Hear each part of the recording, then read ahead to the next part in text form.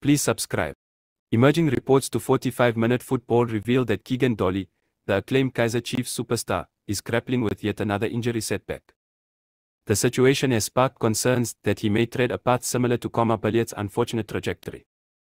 Billiat, a key player for Chiefs, endured a tumultuous last season marred by injuries, resulting in a goalless 2022-23 campaign, marking the first time in 13 years that he failed to find the net throughout a season in the Premier Soccer League, PS. Compounding matters, with his contract set to expire at the end of June, Billiat was unable to reach an agreement on a new deal, adding uncertainty to his future with the club. Keagan Dolly, much like Billiat, stands as one of the top earners at Chiefs, navigating the final year of his contract amid ongoing struggles with injuries. The 30-year-old has participated in a mere five games this season, missing out on 12. Strikingly, he is yet to notch a goal, experiencing his lengthiest goal drought of the season. Keagan Dolly's last goal dates back to April 1st against Stellenbosch, and subsequent to that match, he has endured eight games without finding the back of the net.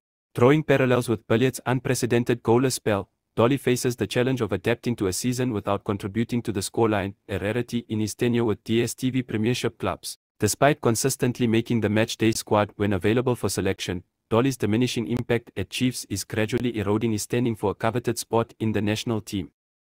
Hugo Broos, the Bafana Bafana coach, last included Dolly in his squad 20 months ago, highlighting the severity of his dwindling fortunes. As the injury concerns persist and Dolly's goal drought prolongs, fans and football enthusiasts alike anxiously await updates on the star player's condition, hoping for a swift recovery and a resurgence in FO.